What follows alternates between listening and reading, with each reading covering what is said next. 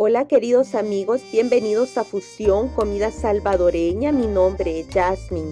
Muchas veces no sabemos qué hacer con el atún enlatado. En este video te voy a mostrar cómo hacer un sabroso ceviche. Y ya tengo lista una lata de atún en agua. La voy a dejar reposar sobre un colador para quitarle el exceso del agua. Ahora vamos a pasar a preparar una salsa rosada o salsa rosa. Y para eso tengo dos cucharadas de mayonesa.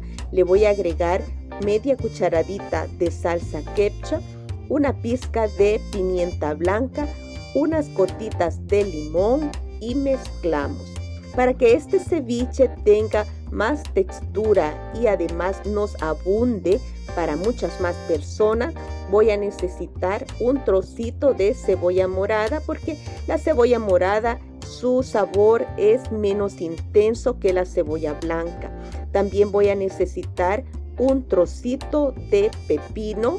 Le vamos a agregar un tomate todo picado finamente y no nos pueden faltar unos rábanos. El rábano le va a dar un picantito que les va a gustar mucho.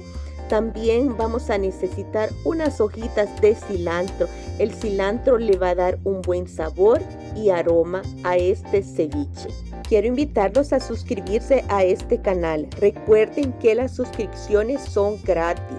Déjenme sus comentarios porque así participan en pequeños sorteos todos los meses. Ahora vamos a mezclar todos los ingredientes, pero además le vamos a agregar uno granito de sal, un poquito más de jugo de limón, la salsa rosada que preparamos al principio de este video y mezclamos.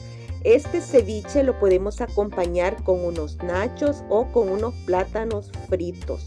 Con este ceviche de atún se me está haciendo agua a la boca. Espero que ustedes también lo puedan disfrutar en casa.